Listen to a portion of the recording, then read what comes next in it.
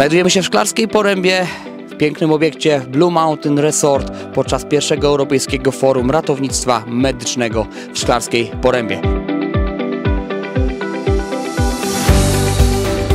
Trzeba się spotkać z różnymi środowiskami i rozwiązać kilka problemów, które od lat występują w ochronie zdrowia.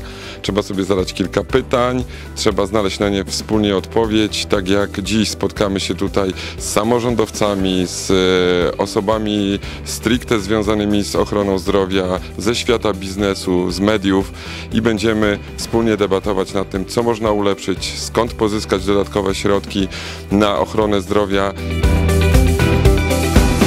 Na ile przykłady pogotowia ratunkowego w Jeleniej Górze mogą stanowić e, odzwierciedlenie tych potrzeb, które formułowane są przez e, cały system Państwowego Ratownictwa Medycznego. Stąd zaprosiłem w imieniu pogotowia ratunkowego w Jeleniej Górze do współpracy e, Europejskie Ugrupowanie Współpracy Terytorialnej. Wykorzystaliśmy również to, że w tym roku jesteśmy organizatorem 37. konferencji Związku Pracodawców Ratownictwa Medycznego, w związku z czym zarząd tego gremium zgodził się, aby również być współorganizatorem takiej szerszej formuły takich wydarzeń e, jak konferencje i właśnie e, określić to w formie e, forum.